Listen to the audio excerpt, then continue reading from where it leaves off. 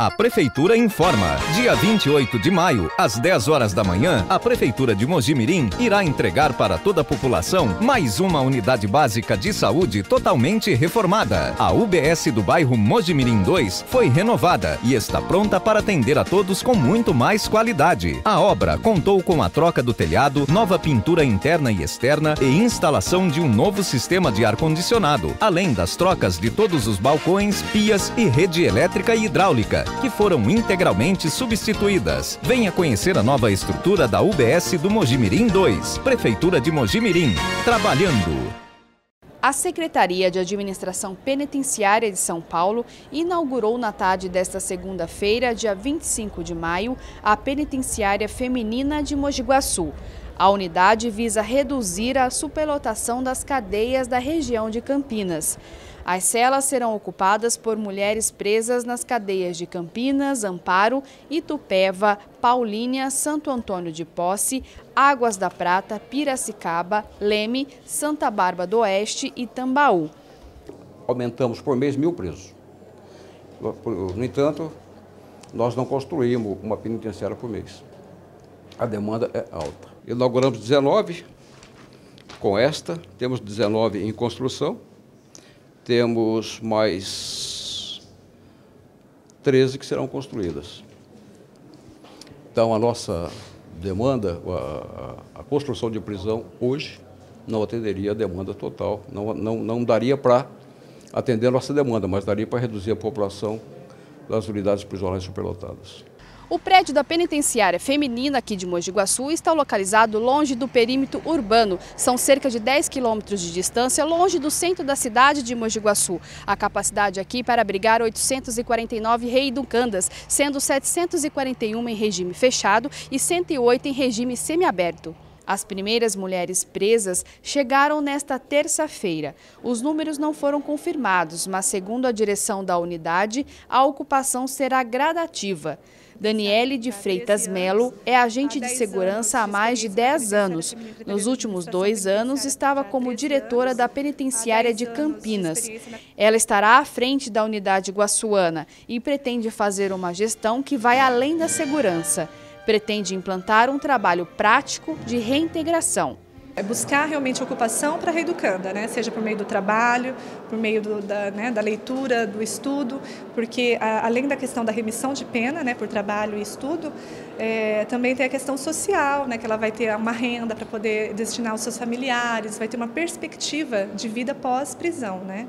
Então isso é muito importante, a gente vai buscar é, é, né, essa integração para visando a ressocialização mesmo. A penitenciária tem mais de 19 mil metros quadrados de construção e está às margens da rodovia vice-governador Almino Monteiro Álvares Afonso, que liga Mogi Guaçu ao distrito de Martinho do Prado. O governo do estado de São Paulo investiu mais de 55 milhões de reais.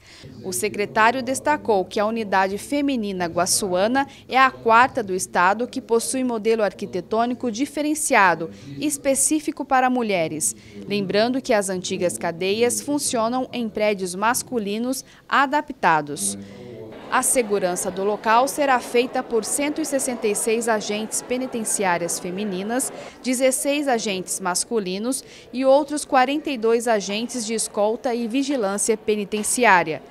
Após os discursos na solenidade de inauguração, as autoridades presentes no evento visitaram as dependências da penitenciária entre eles, a secretária municipal de segurança, Judite de Oliveira Reis, o delegado seccional de Mogi Guaçu, Rui Prado Marcondes, e o major Melo Araújo, comandante do 26º Batalhão da Polícia Militar. As celas têm vagas para no máximo quatro detentas. Como mostram as imagens, as camas são de alvenaria, tem um colchão cada uma e no pequeno espaço tem um vaso sanitário e uma pia. Além da área de saúde específica para a mulher, o local tem um espaço destinado à amamentação.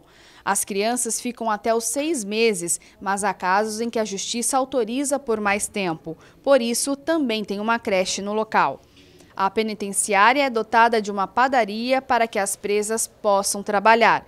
Segundo o secretário, o perfil das presas que virão para Mogi Guaçu não é de alto risco. Serão detentas que cometeram crimes considerados comuns, como roubo e homicídio.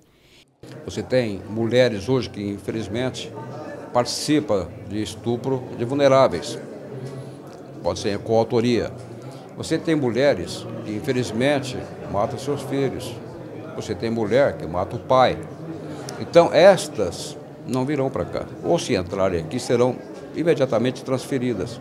Estas irão para Tremembé, que é uma prisão que nós temos, não é uma prisão diferenciada, mas é uma prisão que tem como objetivo proteger essas pessoas que praticam delitos, que às vezes na mídia são muito destacados e que não têm convivência alguma na, na, numa prisão cujas presas praticaram delitos comuns, como roubo, como homicídio, tráfico, etc. Em todos os pavilhões tem áreas para atividades esportivas e pátio descoberto com palco múltiplo uso. Tem área de convivência e visita e playground. Os edifícios possuem dispositivos de acessibilidade. Além das detentas das cadeias da região de Campinas, a penitenciária Guaçuana receberá mulheres de outras unidades do estado de São Paulo, que tenham parentes aqui na região. O objetivo da SAP é mantê-las próximas das famílias. Lembrando que a capacidade é de 849 reeducandas. O questionamento é, é por que aqui e não lá? Na verdade, a preocupação do Estado com relação à mulher é buscar a regionalização das prisões. Nós construímos uma na região de Presidente Prudente, construímos outra na região de Taubaté e uma na região de Bauru. Então teria que ter na região de Campinas, assim como tem que ter na região de Sorocaba, na região de Ribeirão Preto e na Baixada Santista. Não é que nós escolhemos aqui porque é aqui, é que o critério do Estado é colocar as mulheres próximas da família, próximo do processo.